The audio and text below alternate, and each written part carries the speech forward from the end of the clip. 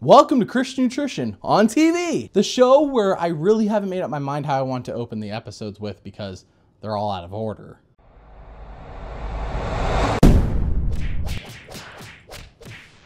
Hey, I found some more episodes! Yeah! I felt like the opening was gonna be a bit cheesy, and it probably was, but I'm legit excited to find more of these lost gems online. I thank the brave souls who do their best to recover these lost classics. And I thought, why not start with what is actually the best part of a bad episode, and that is Dr. Jiggle and Mr. Sly, which was of course part of, you know, Snoodle's Tale.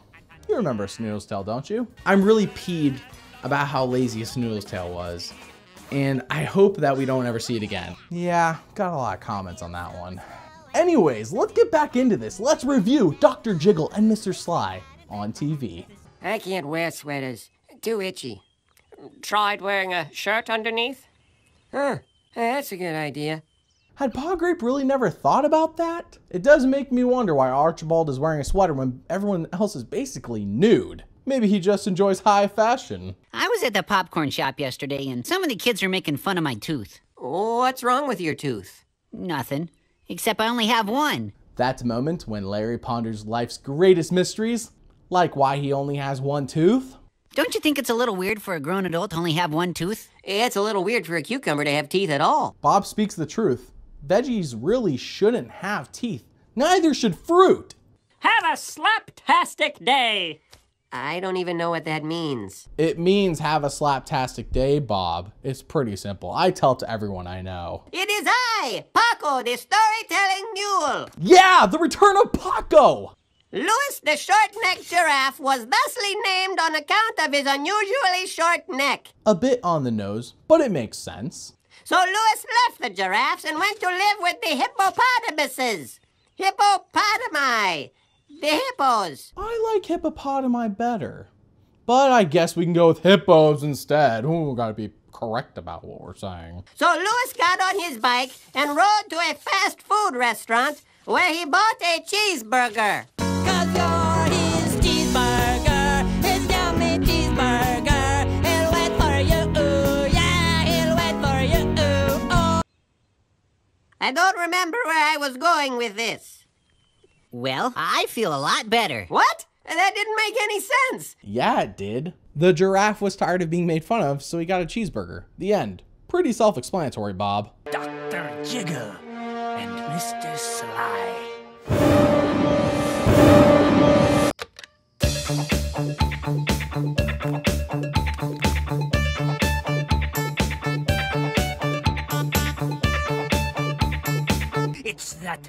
Creature in the alley. There's something wrong with his appearance. Namely, that he looks like he's from the 1970s when clearly the story is taking place in the mid to late 1800s. And what's this? The monster is afoot in Dr. Jiggle's house. Oh no, it is about to get Saturday Night Fever up in Dr. Jiggle's house.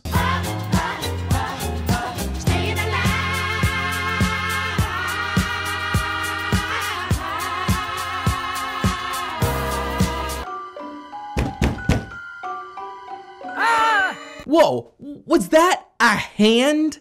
This has to be terrifying children nationwide. I don't even know how to comprehend it myself. You've an intruder, a detestable disco dancing villain ducked through your back door. You must mean Mr. Sly. Mr. Sly, Man, can that guy dance or what? Yeah, didn't I tell you? you're in cahoots with that creature. It is true. Mr. Sly is a monster. I, I know I could never dance like that. I mean, just look at me. I'm too jiggly. But for what it's worth, my portly girth only served to make folks giggle. Wait, are you telling me that Dr. Jiggle just froze time? That's impressive. Or is this more like where it's in a play and everyone just freezes while the character sings a character reflection song? That's probably more of what's going on. But I like to think that Dr. Jiggle knows how to freeze time. I want to dance.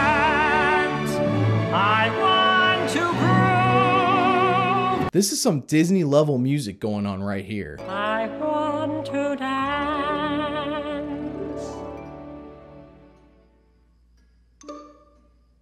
What was I saying? Mwah! They pulled that off beautifully. Mwah! After that epic song, Dr. Jiggle assures them that Mr. Sly is a great guy and that they would really like him.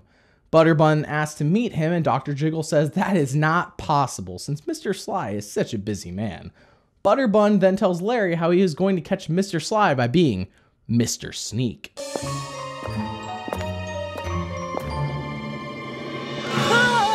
Seriously, what is going on here? Someone has some explaining to do.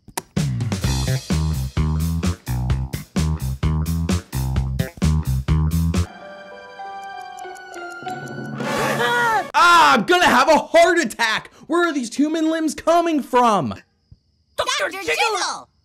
Oh, uh, good evening, gentlemen. Dr. Jiggle! Oh no! Looking for some hot stuff, baby, this evening. I need some hot stuff, baby. All right, you flashy fiend. Never turn off a man's music. That's how people die.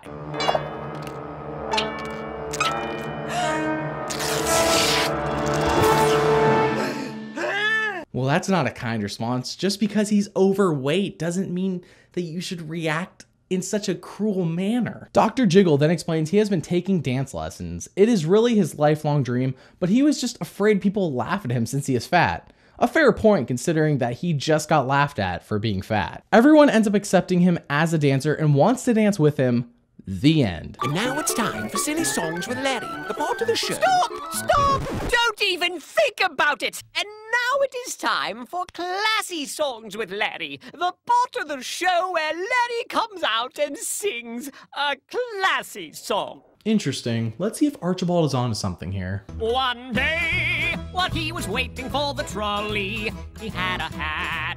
My high silk hat.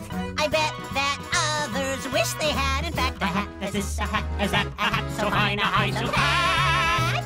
Oh, Mr. Art Bugatti, now what do you think of that? Larry loves his high silk hat so much, but eventually he reaches a crossroad that has him covering his chocolate with his high silk hat.